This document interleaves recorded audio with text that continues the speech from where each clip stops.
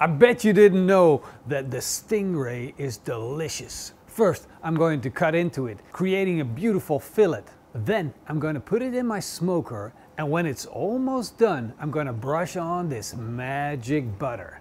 If you want to know the recipe, go check out pitmasterx.com. Wow.